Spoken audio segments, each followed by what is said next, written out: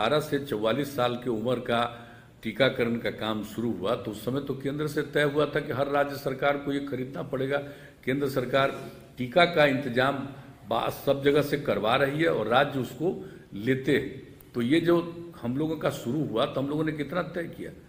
हम लोगों ने चार हज़ार एक सौ करोड़ से भी ज़्यादा आवंटित कर दिया, एक हज़ार करोड़ रुपया तत्काल आवंटित भी कर दिया, निर्णय भी ले लिया, काम करना शुरू कर दिया। और उसके बाद, ये तो बहुत ही बधाई के पात्र हैं आदरणीय प्रधानमंत्री जी, उन्होंने फिर निर्णय लिया कि नहीं, अब केंद्र सरकार ही 18 साल से ऊपर वाले के भी टीकाकरण के लिए टीका का इंतज़ाम करेगी।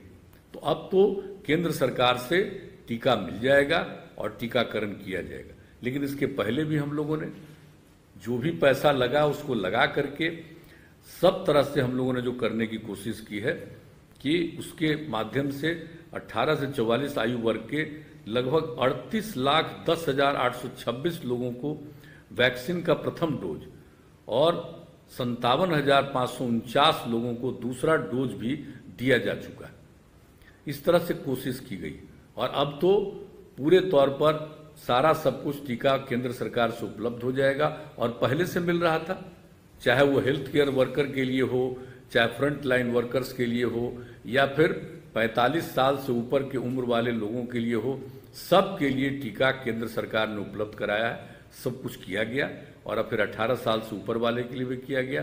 तो हम लोग तो काम कर रहे हैं, और जब से आदरणीय प्रधानमंत्री जी ने इसकी घोषणा कर दी और ये बता दिया, और 21 अक्टूबर की बात आई 21 तारीख को, माफ़ करिए, अक्टूबर नहीं, ये सितंबर, ये इसकी बात आई, जून की तो उस समय से ही हम लोगों ने तय किया कि आज ही हम लोग इसको कार्यक्रम करके और इसको पूरे तौर पर छह महीने के अंदर छह करोड़ लोगों का ज़रूर टीकाकरण कराएँगे। और जान लीजिए, टीकाकरण कोई एक ही डोज नहीं होता, डबल डोज होता है। यानी इसको ध्यान में रख करके, इस पर विचार करके कई बार स्वास्थ्य विभाग ने बैठक की, विशेषज्ञों की राय ली, हम सब लोग बैठे और मिल करके ये निर्णय हुआ कि भाई हम लोगों को तो ये करना हर हालत में हम लोगों को करना। तो ये काम अब इसकी शुरुआत हो गई है। अब पूरे तौर पर हम लोग लोगों को तो करेंगे ही। और आज भी अभी तक आप देख लीजिए कि बिहार में कुल मिलाकर के एक करोड़ सोलह लाख छियालीस हज़ार एक सौ उन्नीस लोगों का पहला डोज और बाईस लाख पाँच हज़ार चार सौ चालीस लोगों के टीका का धारा से चौवालीस साल की उम्र का टीकाकरण का काम शुरू हुआ तो उस समय तो केंद्र से तय हुआ था कि हर राज्य सरकार को ये खरीदना पड़ेगा। केंद्र सरकार टीका का इंतज़ाम सब जगह से करवा रही है